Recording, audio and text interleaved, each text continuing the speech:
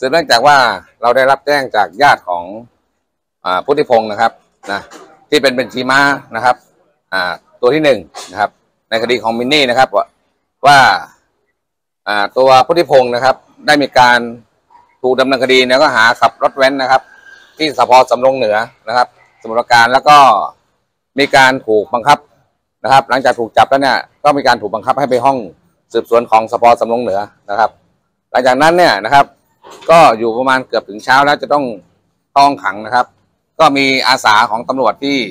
รับคำสั่งจากตำรวจในที่โรงพักสำโรงเหนือเนี่ยมานะครับ ให้เสนอว่าถ้าไปเปิดบัญชีม้าให้นะครับ แล้วก็จะไม่มีการดำเนินคดี โดยจะปล่อยตัวพร้อมกับรถของกลางนะครับ ทั้งหมดนะตอนเช้าเนี่ยนะครับ อาสาเนี่ยก็พาไปพาพุทธิพงศ์เนี่ยไปเปิดบัญชีนะครับ ไปเปิดบัญชีแล้วเนี่ยนะครับ ก็ มีการส่งมอบนะครับ ให้ตำรวจหนึ่งนายนะครับนะมารับบัญชีม้าพร้อมกับบัตร ATM นะครับ แล้วก็มีการปล่อยตัวพุทธิพงศ์ไปนะครับ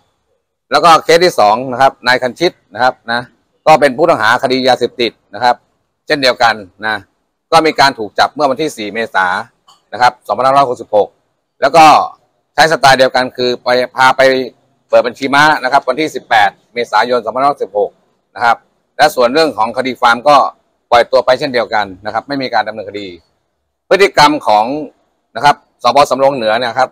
มีการกระทำแบบนี้นะครับ ในคดีของมินนี่เนี่ยบัญชีทุกบัญชีที่เกี่ยวข้องกับสำโรงเหนือนะครับ มากกว่า 50 บัญชีที่ในคดีมินนี่นะครับ จะมีการทำแบบนี้หมดนะครับนะเราจึงมาร้องให้ทางปปตั้งคณะกรรมการสืบสวนสอบสวนนะครับ ในคดีนี้นะครับ ซึ่งเดี๋ยวจะมีการประชุมกันหลังจากที่ผมมานะครับร้องที่พนักงานสอบสวนเสร็จเรียบร้อยนะครับ ก็ได้มีการนัดหมายพยานนะครับ จะมาสอบนะวันนี้จับคนบริสุทธิ์นะครับ ที่กระทำผิดเพียงเล็กน้อยนะครับนะแล้วก็